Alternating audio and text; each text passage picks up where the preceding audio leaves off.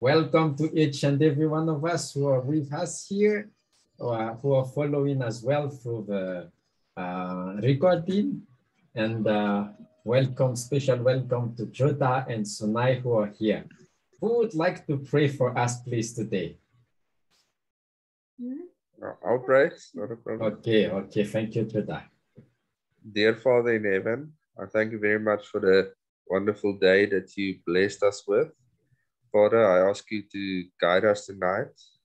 Um, ask that our Holy Spirit will help, us, help to guide us so we can receive your word and your blessings, Father.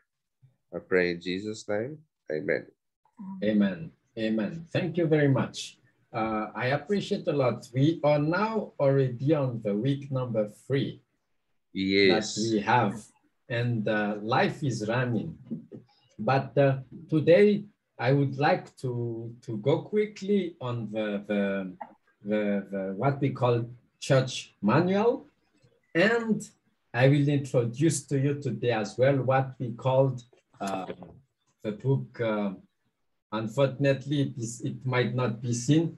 It is a, a book called um, uh, Bible Study Guide of the, the Sabbath School lesson. Have you heard Yes, about it already? Yes. Yes, we have. Yes, you remember. Yeah, yeah. Mhm. Are you studying it already? Do you have access?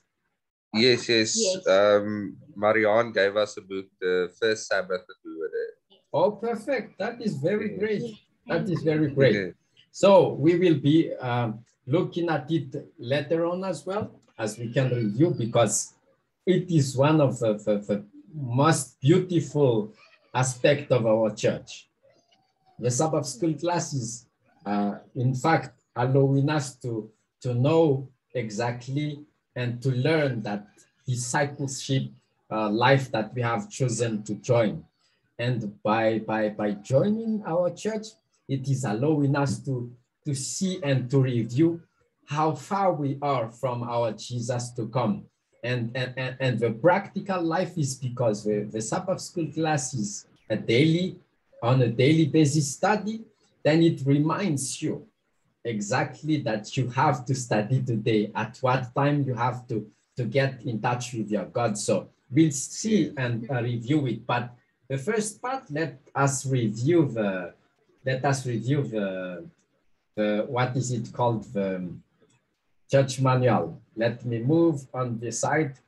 Unfortunately, I have some kind of a challenge of my, let me close some of the unused um, unused files so that I can speed up the computer. Okay. It is raining as well in this site. Really? Oh, we That's also we also have the weather is coming.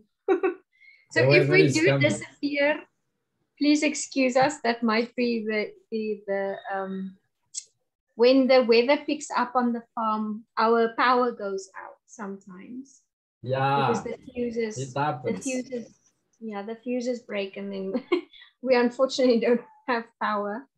Mm. So So, so if um, if um, I am going to send to you this file, the big one, and maybe you can review. It, there will not be time for us to review paragraph by paragraph, but I Yes, will be yes. reviewing with you where I think it is very important, and then you can read in between of each uh, each uh, paragraph so that we can see.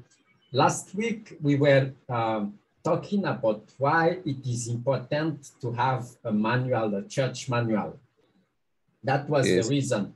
And exactly like when you get a new car or when you get a new um, machine that you can use to cook, a powerful one in your kitchen, the first thing that you need to do is to read your manual to avoid to, to lose your warranty, isn't it? Yes. And, and- Yes. and, and that's exactly the same thing.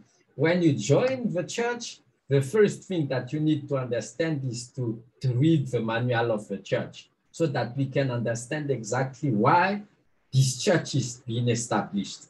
And, and, and, and that is the reason uh, and the beauty of this church. When I joined some other churches when I was not yet Adventist, there was no manual. The, the, the, you just join and you just get the fellowship and that's it. But when yeah. I joined the Seventh-day Adventist Church, I, I really had pleasure because I found out from the manual that this is an organized church. And God is a God of organization. He, he, if you look at the way he has organized the universe, the earth, then you can see definitely that he didn't see, he didn't do anything by chance or by on its own. He did it inch by inch or centimeter and millimeter by millimeter. And, and, and he did it in such a way that once he created it, he does not need to review or update it anymore. Have you seen that uh, uh, when you look at at least only on, on, on our uh, solar system, we don't go back, uh, beyond the solar system. Imagine the number of, of numbers of asters of the planets inside of the solar system that is spinning and spinning and spinning without stop. And our Earth is about uh, 56 to 86 thousand kilometers per hour. Imagine you drive at, at such speed. Yeah, and, and, crazy. And, and, if, if, if the speed of the earth is slowing down, then it says that our, ourselves will fall down from the earth because it is the spin and the speed of the earth that keeps the gravity to be on top of it. And that is yes. why no matter where on the, on the planet you will position yourself, the gravity will always lead, lead you inside of the planet, not outside. So if yeah. the earth is stopping just one, one second, or it is stopping abruptly, all of us will jump somewhere. You don't yeah, know that should be crazy. But imagine for 6,000 years, at least, the Lord used the planet to spin and to spin and to spin. And that is one of the reasons that you can see that God is a God of order. It is not late of one second and it is not speeding of one second, exactly keeping that speed. And yes. if, if the planet that is not a living being is following the law of God, how much more about us? who yeah. are the, the, the crown of his creation. If you look at the, the week of creation, then it is actually meant for us. Everything that God started from the beginning, when he started to say, let the light be, is for you. When he started to organize the earth and put the, the, the, the dry land to the, uh, the what is it said, the, the, the water. He was thinking about you and I and myself. So God is good. He is doing things by thinking about who will be benefiting from it. And that's exactly the manual of the church, as I said, because that is showing the God that we, we worship. It is an organized God. Organized means that he put things in such a way that it, go, it does not go beyond that, that limit. And that is also his wish for each and every one of us. So when we look at the, the chapter of today that we will be reviewing, um, this is what he says. Uh, let me put the video here. So what we will be looking now is the authority and the function of the church manual the authority and the function of the church manual. Um, let me be frank to you. I was only introduced to this manual when I was baptized and nobody else talked about it anymore after that. Hmm. And it was only on my own that I decided to study the, the, the church manual. And that is why as an elder of our church, I feel that we need to have a time to study the manual of the church. And Yes. we do not need to come back to it only because there is a problem. That is wrong. Because we need to read it first as an information and then to allow us to avoid any kind of problems later on. And that we will be reviewing later on as well. But for, from today, we will see now the authority, the function of the church manual. So, so now, if you may, please read the first paragraph. First paragraph. All right. Uh, sorry. Just need to. Sorry. No, it's fine. The church manual has existed in its current format since 1932. It describes the operation and functions of local churches and their relationship to denominational structures in which they hold membership. The church manual also expresses the church understanding of Christian life and church governance and discipline based on biblical principles and the authority of duly assembled general conference sessions. God has ordained that the representatives of his church from all parts of the earth, when assembled in a general conference, shall have authority. Thank you very much. The 90 is 90 means uh, testimonies for the church. Okay. Oh, So it is the volume nine, as you can see there. So uh, I don't know if you have access to them on your phone, you can, but that is the beauty of it. You can have access to this uh, uh, book and it says exactly uh, the highest authority of our church is what we call the General Conference Assembly or at session. And those General Conference Assembly, as we can say, we will be reviewing them in the future, are coming from all those countries who are 215. And the 215 countries are sending their representative. So the decision, we are not uh, uh, in the way like uh, in other churches, like for example, for the papacy, where whatever the Pope is telling, we follow. It's not that way that we do. And even the, the president of a General Conference is not the highest because he is reporting as well to the Assembly of the General Conference who appointed him.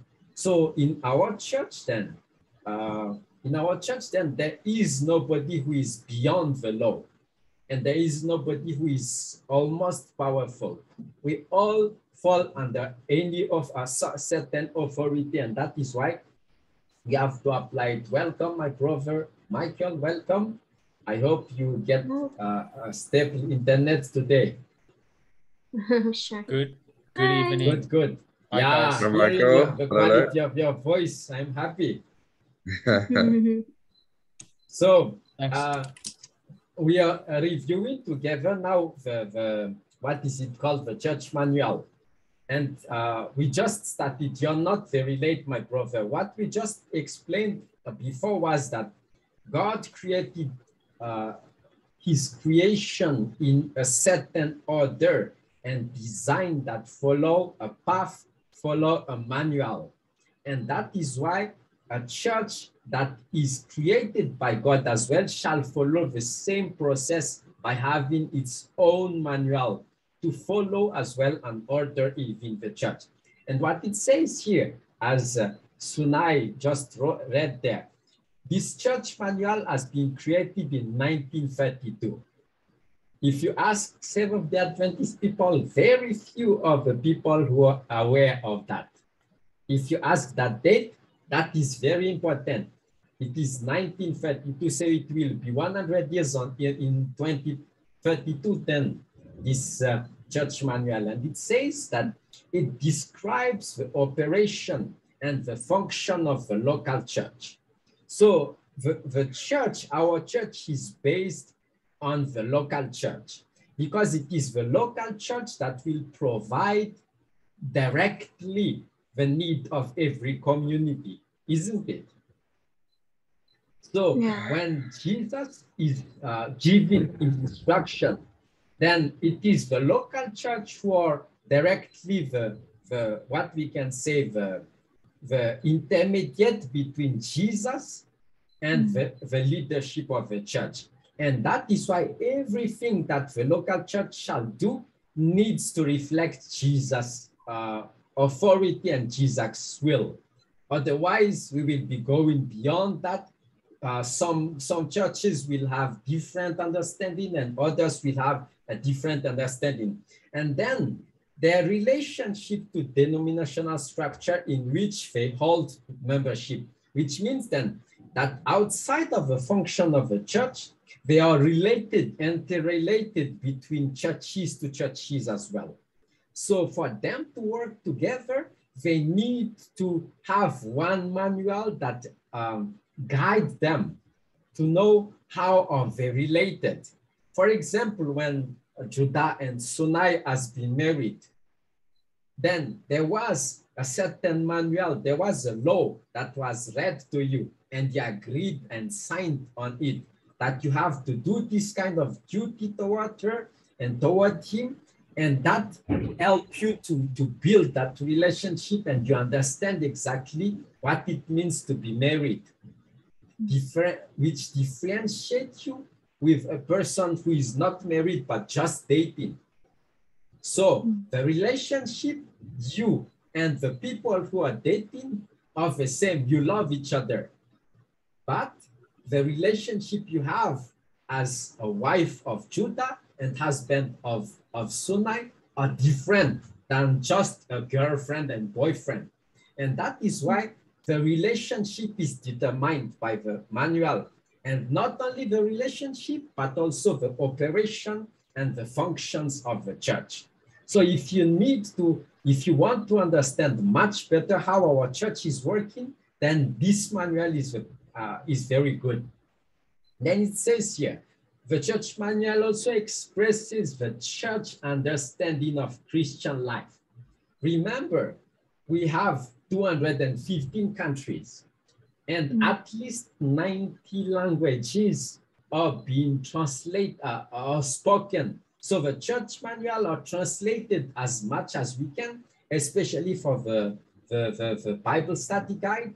So if we have our own interpretation of the Bible, then we will no longer be one church, isn't it? Mm. Because what unifies the church is not the, the, the, the leadership, but rather the truth we believe. Mm. Let me repeat it again. What unifies our church is not the leadership, but the truth we believe. So if we believe in different truth, truths, then it will make us two different people believing and playing. Uh, it's like you are in the same uh, terrain and one is playing with a, a, a, soccer ball and one is playing with basketball. And no matter, even if you want, you have the mind of playing together, the rules are different, the, the, the size of the balls are different, and everything that is playing within that game are different. And that is why we need the principle to, law, to help us to understand what it means, uh, what the Bible uh, explains us. And it says as well, the first one is the life. As it is said here, let me highlight this one. The second one and the church governance, how we are being governed. Number three is the discipline, how we are, are being disciplined. And then at the end it says and the authority of a duly assembled general conference session. So it explains even to you that you have that authority to appoint the people who will be going to the general conference in session. So that is part of it. And, and Ellen G. White just said here that uh, God has ordained those representatives to, to be uh, from all the parts of the earth and when they are assembled, then they have the authority to decide. That is how God is being using uh, the way to appoint how are we going to lead in the next uh, five years, in the next 10 years. And that's why our theme for this coming uh, five years is I will go. So no matter who will be uh, elected there, the people who will be elected, they'll have to follow and accomplish that I will go aspect. And that is the beauty of the church. So it doesn't depend on the leadership. It is the, the, the general conference to decide everything about it, and then the leadership will just execute what it says there. Any questions related to that up to here? No. okay, it's clear. And it says here, uh, I will be talking quickly of uh, two materials, two types of materials in the church manual. It says, the content of each chapter is of worldwide value. So, so the manual is then a worldwide manual. It's not only of South Africa, or it's on, not only of Zimbabwe or Madagascar or United States, it is worldwide and is applicable to every church organization, congregation, and member. And it says recognizing the need for variation in some uh, sections, additional explanatory materials presented as guidance and examples appears as note at the end of the church manual. So there are a lot of notes at the end and it says the note have subheadings corresponding to the chapter, subheading, and the page number of the main text.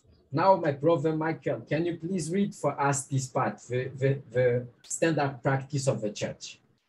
Please. Sure, sure. The standard, the standards and practices of the church are based upon principles of the Holy Scriptures. The principles underscore the, sorry, can you just stop doing that? It's very distracting. oh, sorry. The, the principles, the principles underscored by the by the Holy Spirit of prophecy, sorry, by the Spirit of prophecy, are set forth in the church manual. They are followed in all matters pertaining to the administration and operation of local churches.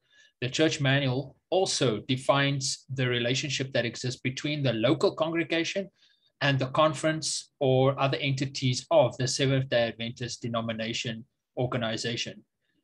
No attempt should be made to set up standards of membership or to make memberships or to make or attempt to enforce rules or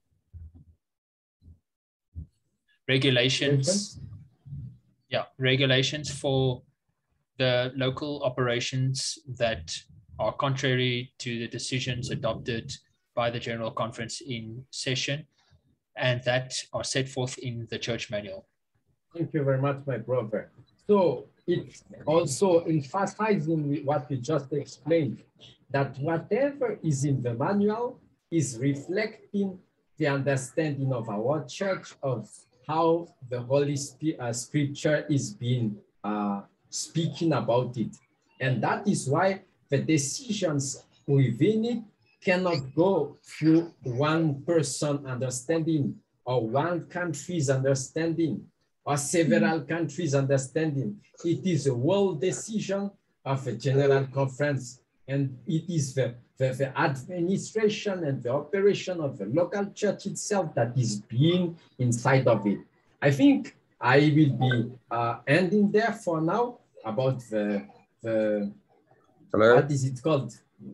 Can you hear me? Yes? Yeah. We're still here, uh, Judah. Yes? You have a question? I see you guys having some connection problems. Mm -hmm. Brother Tsiry, can you hear me? Yes, I can. Yes, I can.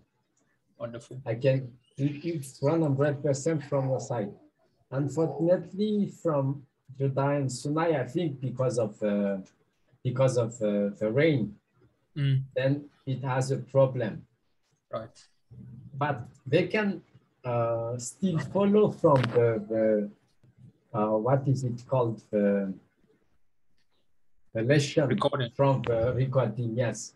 Yeah. But I would like to talk about uh, uh, the lesson today, my brother. Do you have uh, the Sabbath School study guide? I do. Mm-hmm. I do. Mm-hmm.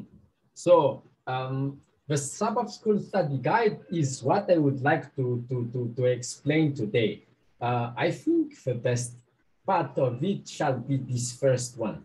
When you look at uh, the structure of our um, Sabbath School, our, our week is meant of 52 weeks during the year. And the 52 weeks were subdivided into four, which is a quarter, if we can say, in, in, in this then. And the uh, 52 weeks that we, we can see then has been subdivided into four uh, quarters, which is three months, if we can say. And every yes. three months, every three months, we are changing a new topic at the time, as it was said. And uh, uh, as we can see, let me just say, uh, internet is, we will try to join. Thank you. Thank you, thank, thank you. Waiting for you. We will continue, but please join as you can. But, oh, you're busy typing. yeah, I'm typing to, to them, yes. Yeah, so uh, it says, um, it is still up. So when you look at the, the, the, the, the, book, as we said then, uh, every quarter, which is three months, we change a new topic. And every topic that we can see here is exactly subdivided into 13 Sabbaths.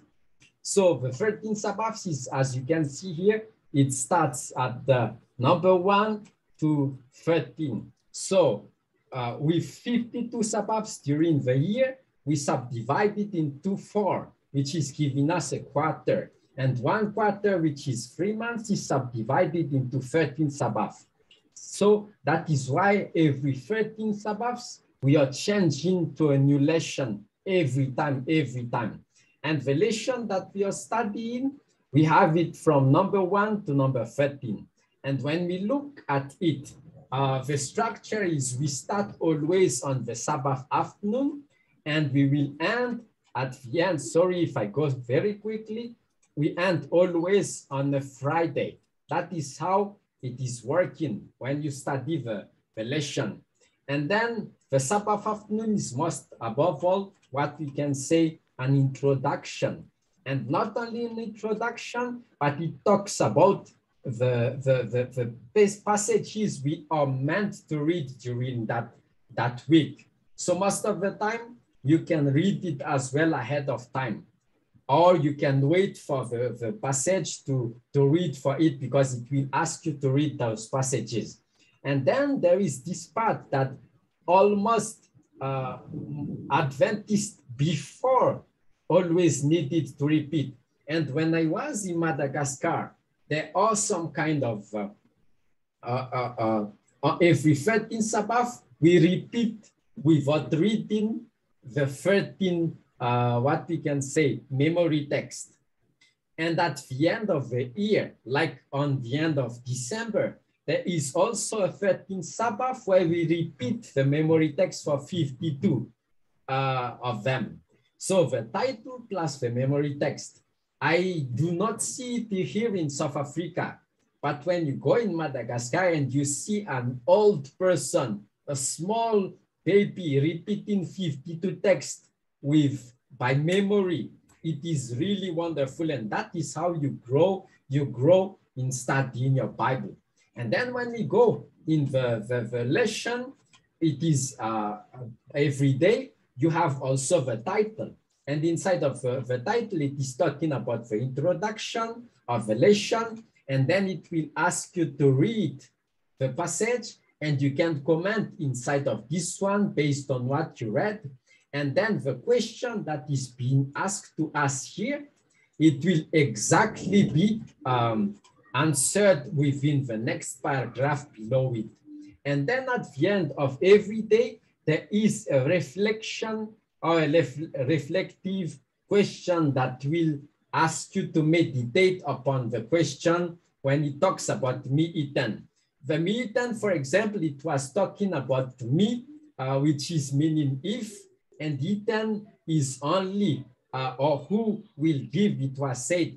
And it is when you read this passage of the Bible, it was used several times in the Bible when God wanted something to happen, but unfortunately, uh, the, the Israelites were not really in that mentality. So it was like just a wish to God. And that is why when you read this passage, it was wonderful.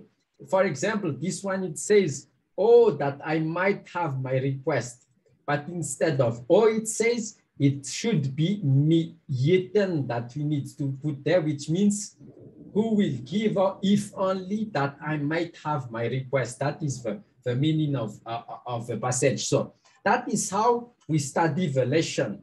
And then when we go now in the, the, uh, the, the, the, the Friday part, Friday is a little bit different because it goes with a furthermore study when most of the time we have uh, some of the book of spirit of prophecy to review and then there are uh, questions that are being discussed within the, the, the, the, Friday so that you can discuss about it within the, the, the Sabbath school class.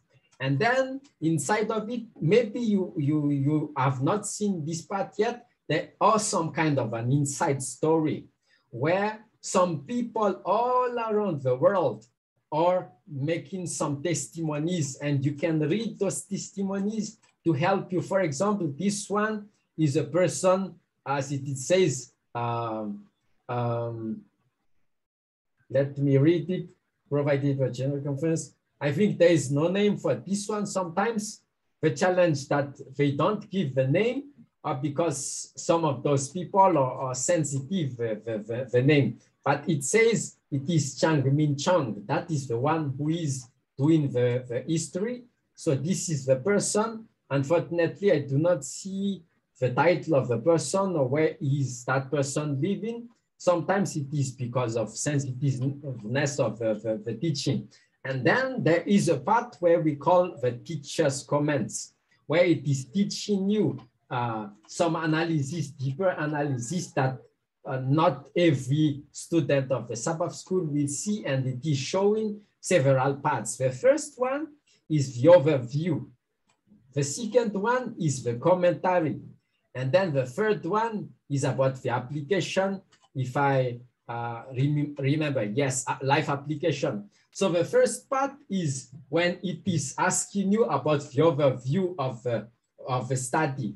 Then it is commenting uh, furthermore what about you, what you have studied within the, the study and at the end, it is giving you some life applications. So when you study the, the, the Sabbath school, these three parts are very important where you need to understand in globality the story first, then number two, where you comment about what is happening, and the number three, where you will be addressing some of the challenges within uh, the life application so that you can apply in your life.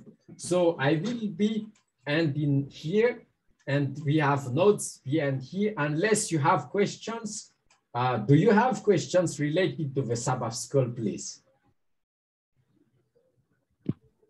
No, no questions from my side. No, thank you. Okay. Thank you, thank you, Michael. Okay, I presume that you have no question. If you do not have questions, then let me uh, lead you to the next study that we will be looking. I think we only will be on the first part this time so that we can finish what we ought to finish.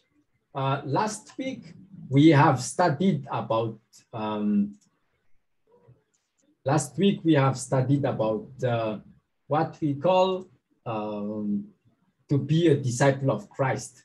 And this week, we will be reviewing uh, about an important aspect of if being a disciple is so good, then is there a cost to it? Uh, I hope you can see what I see on the screen. Do you see what is on the screen, please?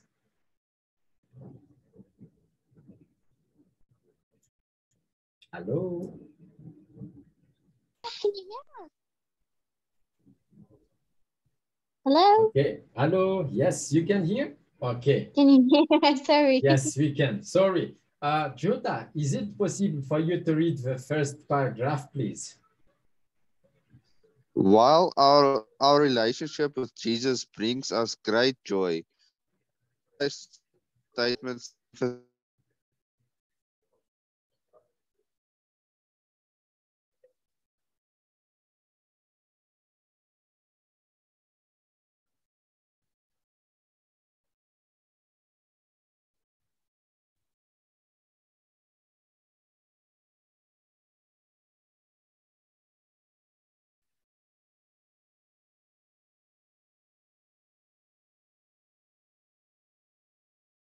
Seems like I have lost you.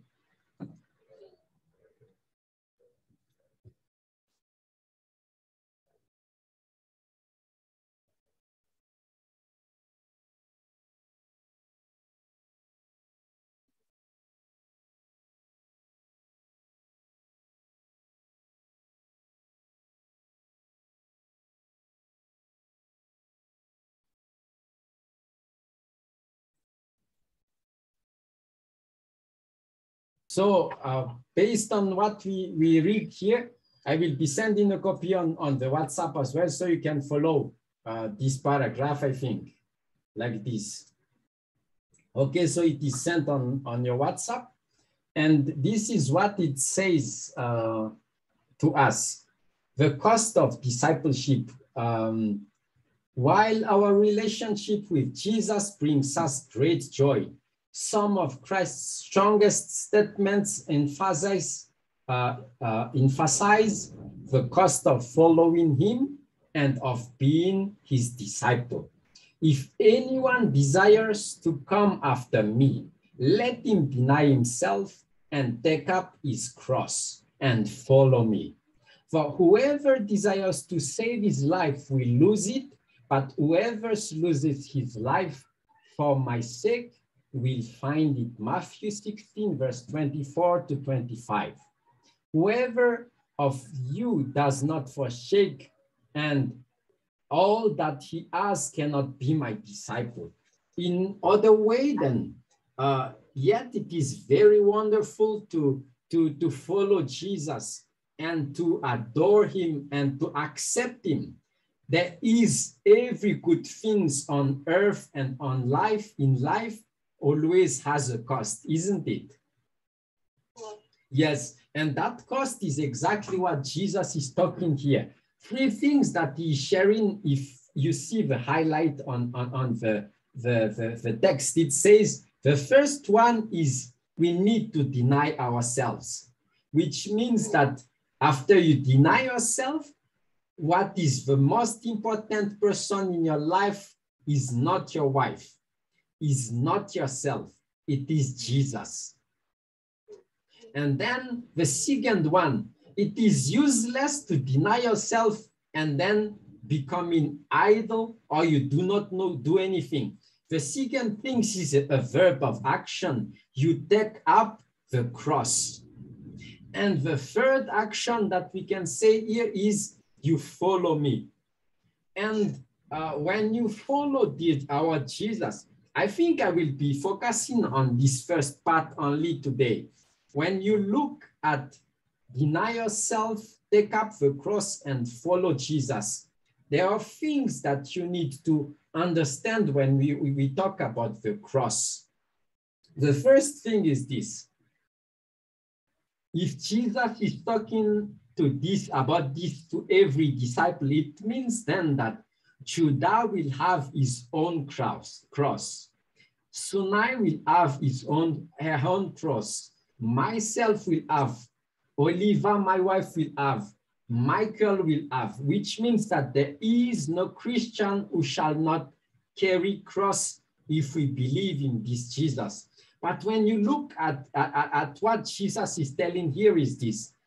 The first way that you see that the person is a Christian is if that person is carrying cross. And cross sometimes of things that we think are very difficult. But Jesus is sending a Simon. You remember that Simon who helped Jesus when he was so tired to carry his cross? Yeah. Uh-huh. And, and at a certain level of your life as well, Judah and Sunai, God will help you by sending you people to assist you in your life. Isn't that good? And God knows exactly at what time of your life you're very tired. And on that very time, He will send somebody to help you. And that person will completely assist you. But this is the thing the cross is not the cross of Simon, it is the cross of Jesus, isn't it? So at a certain point of the life of Jesus, Simon had to, to, to, to, to go away from him and he had to carry on again with uh, uh, taking up his cross to Calvary. And at the same time as well, the church is the Simon that God is sending to you. And there are certain part of your life where you need the church to support you. But at a certain point as well, Judah and Sunai, the cross that you're carrying is your cross, which means that you will end up carrying it even if no one else will no longer continue to help it. So you cannot blame anyone not to help you because the cross is your cross. My cross is my cross. And that is why in this one, we need to follow the, the, the, the, the, model of Jesus by accepting the cross until the end. And tell me, when you get the cross, where you will be ending with that cross. Can you tell me where? Where? You say where? I have not heard you. He said in the grave. Oh, oh. Judah said in the grave. I heard In him. the grave. Okay. Yeah. Uh, let me call him back because he, I think he- he's cutting. Thank you, Michael. Thank you, thank you. Sure, brother. Or maybe if you're calling back. I was wondering Oh, why I'm he's hearing there. him, He's but there. He's there now. He's there. Yeah. they are back. Oh, thank God. Thank God. Thank God you're back. welcome, welcome. Have Hey, you guys, heard I was- Michael is wondering how he can hear you, and yet you're not there. Yeah, I figured it out, but like at first I was They- so, they, they are so already surprised. following Jesus. They are following Jesus. Jesus said, uh, quickly you will not see me, and quickly you will see me. So you see, the beauty of it is this. Um, the first thing that happens is at a certain point of your life, as I said, Michael, you will have to end up carrying your cross. But my question is, where will you end up with that cross before it goes to the grave? Where you will end up? That I do not have an answer to. I my answer to that was uh, when we when we see Jesus again, when he comes Mhm. on the clouds of glory, then we'll we'll not carry the cross anymore. But you said before the grave, so I don't know.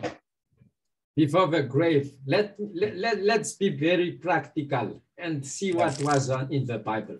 What happened was Jesus ended up nailed on the cross, isn't it? Yes.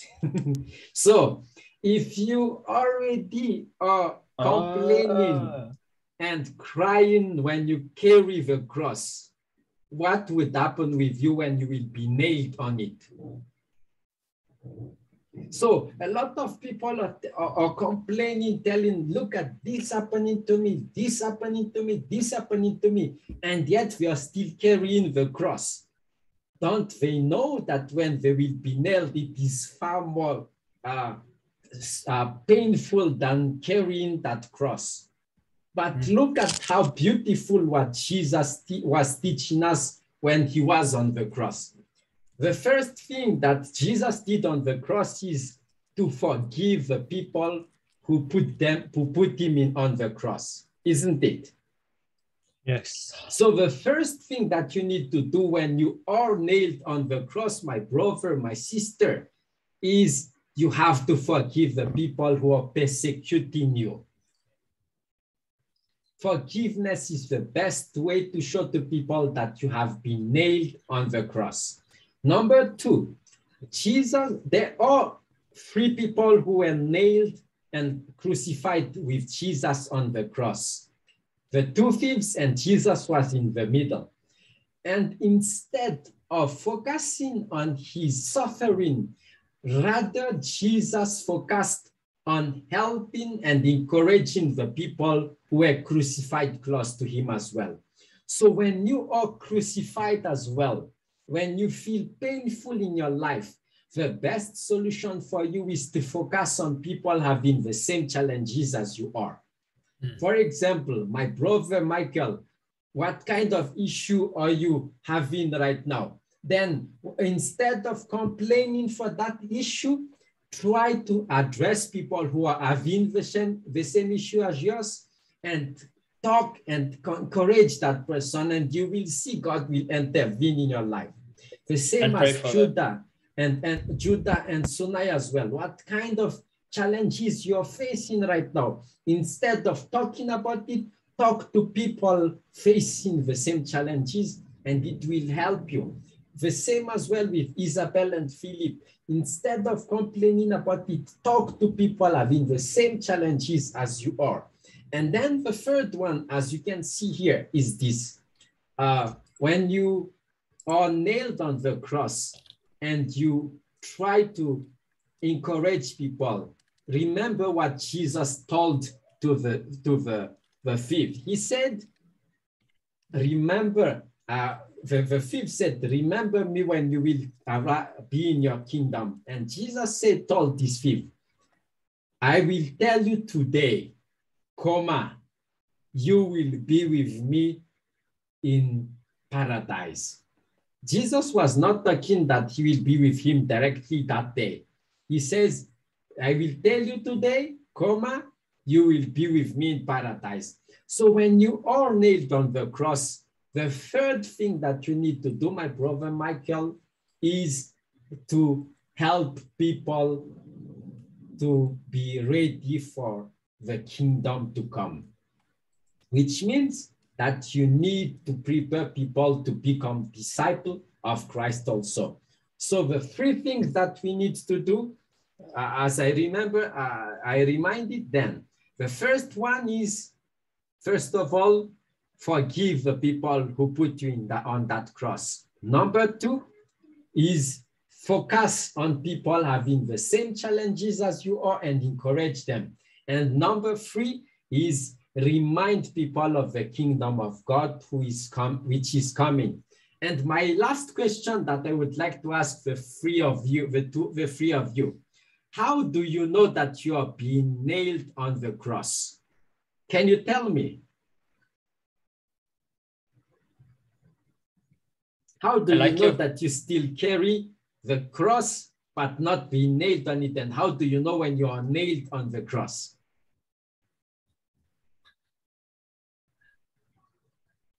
Hmm.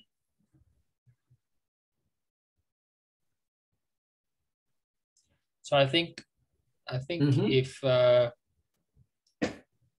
like it says there, like you highlighted in blue, that uh, that would be the self-denial would be your um, be you you basically carrying the cross and the sacrifice is perhaps I think when you are nailed to the cross you know like Jesus said for no greater love does any man have than this but to lay down his life for his friends Mm -hmm. But but how do you know that you are being nailed on the cross? Um, you have to sacrifice yourself for for the sake of others, man, and what you want for the sake of others. But you're already sacrificing uh, when you accept the cross, isn't it? But how in your life are you going to know that this time I am still carrying the cross? And now it is time that God or people are nail, nailing, nailing me on the cross. Let me answer the, the, the question. Here it is. When, the, when Jesus was on the cross, remember what happened? It became dark. And Jesus said, Eli, Eli, sabachthani. You remember that? When it say, he says, God, God, why are you forsaking me? Which means that, my brother, that when you feel that God is not answering to your prayer, then at that point, you are being nailed on the cross. When you feel that God is silent and you are asking for prayers, help me for this, God, help me for that, help me for this. And it seems like God is silent to it. Let me repeat it for Judah and Sunai as well. The way you know that God is answering, God, that you are being nailed on the cross is when you hear and you feel that God is silent toward you. Because Jesus himself said, Eli, Eli, lama sabachthani, which means, God, God, why are you forsaking me and leaving me alone? So the way you know that you are being uh, nailed on the cross is when God is silent toward your prayers. So when he is silent, don't talk too much. Instead, remain faithful until the end. People will ask you to go down from the, the cross and they said, you saved people, so save yourself today. Jesus could have been, uh, was able to go down from the cross but if he did that, we will be lost completely. So sometimes people are also, um, uh, what is the word in English that we can say? They are trying to put spices on you so that you become angrier, if we can say. And they are pushing you at your limit, but you need to show to them that you're Christian no matter what is happening. So today, my last call upon you is this. When you accept to die, God will revive you and will wake you up and resurrect you like Jesus. So even if it is a challenge full time that you've been following this church, follow Jesus until the end and he will help you. Uh, we have 30 seconds left now. So I would like to invite Michael to pray for us this time for us to accept to be a disciple of Christ until the end. Right, let's close our eyes. Faithful God and Father, great are you, and great is all your works. We acknowledge that we are here today, gathered even in the way that we are, because you have been working great works in us, and you have been so faithful and good. And Father, help us to remember that you'll never forsake us or leave us. Help us to always remember, as the words you spoke to Joshua, saying, Be strong and of good courage, for the Lord your God is with you wherever you go. And that we will go, that we will not only say, um, Here I am, send me, but that we will actually follow through and listen to your spirit and be at your feet, seeking daily for the salvation of others, seeking your kingdom and your righteousness, Father, for ourselves and for others, that by our love all may know that we are your disciples.